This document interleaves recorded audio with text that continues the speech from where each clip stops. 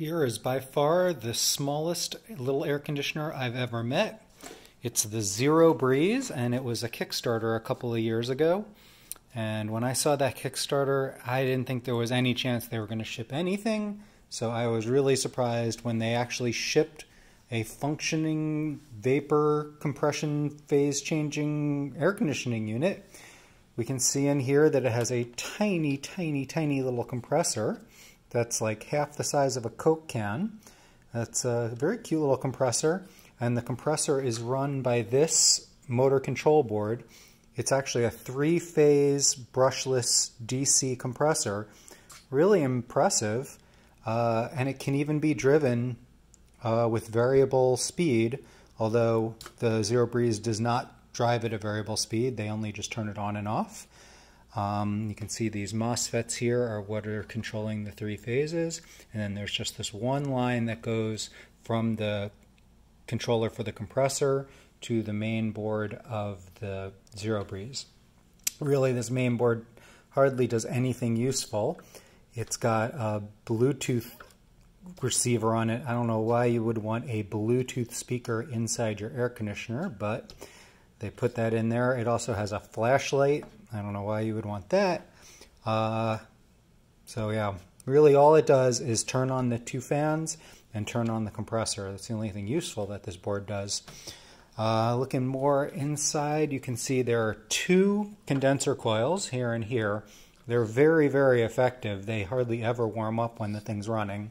And then there's a muffin fan here that sucks the air through these two coils and then blows it out this way.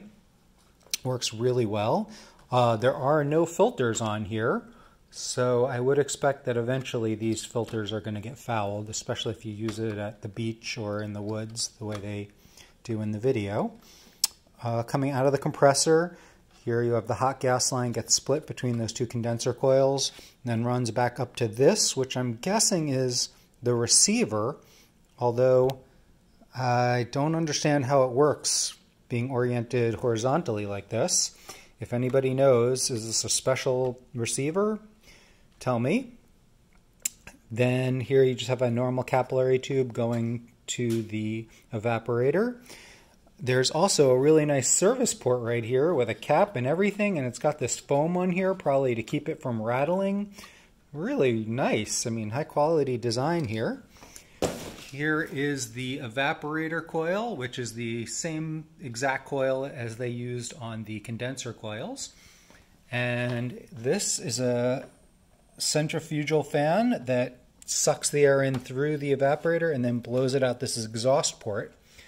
Uh, you're supposed to connect, obviously having hot air blowing into the same space that you have cold air blowing is not that useful.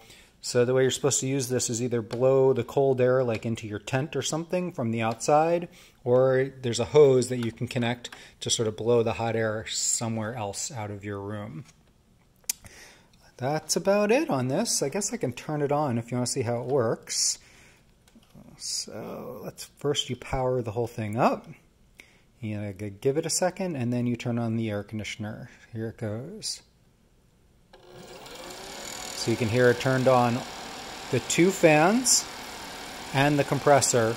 The compressor's making, you know, it's like a rotary compressor, so it makes you can hear the clicking when uh, the piston's going up and down, but it's it's not so bad. And it really does make like this air is cold. It really does make cold air. It's very impressive.